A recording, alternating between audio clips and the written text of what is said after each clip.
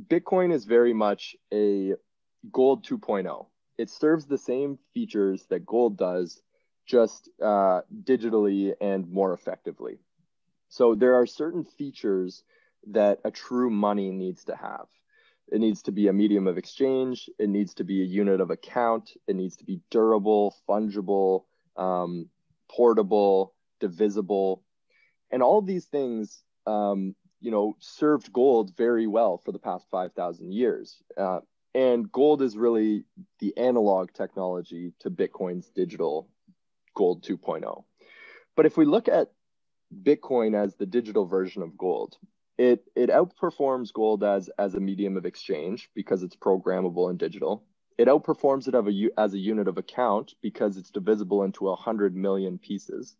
It outperforms it in its durability um, because it uh, it's replicated all over the world. It can't be shut down. It's streamed in outer space, so it literally uh, is here to stay.